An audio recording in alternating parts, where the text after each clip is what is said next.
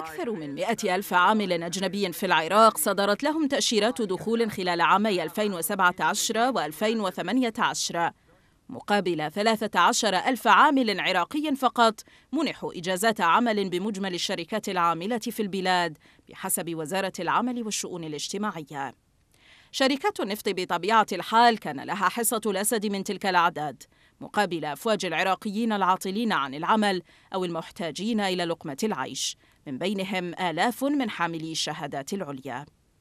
لجنة الخدمات النيابية أكدت وجود أكثر من 14 ألف عامل من العمالة الأجنبية بمصفى كربلاء بينما قالت إنه تم الاتفاق مع الشركات الأجنبية العاملة فيه على تشغيل 50% من العمال العراقيين في المصفى وفي البصرة التي تحتوي على أكبر آبار البلاد النفطية وتنتج ما لا يقل عن 80% من النفط العراقي وتعتبر المنفذ البحري الوحيد للعراق على العالم فقد كشف مجلس المحافظة فيها عن وجود أكثر من 83 ألف عامل أجنبي يعملون بالشركات النفطية في البصرة وبمعدل راتب شهري يتجاوز العشرة آلاف دولار. مضيفا أن الشركات تخفي الأعداد الحقيقية لعدد العاملين الأجانب فيها وتقلل من أعدادهم.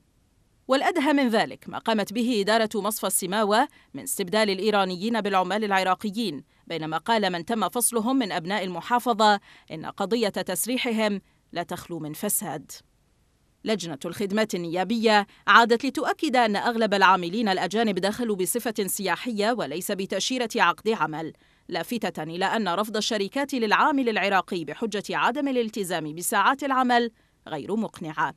استقدام العمالة الأجنبية على حساب توفير فرص عمل كريمة لأبناء البلد كانت سببا بحسب برلمانيين في اندلاع الاحتجاجات التي شهدتها المحافظات الوسطى والجنوبية وقطعت يومها الوعود من رئيس الحكومة ومجالس المحافظات لكن لم توفى تلك الوعود بل وازداد الحال سوءا انتقاما من المحتجين.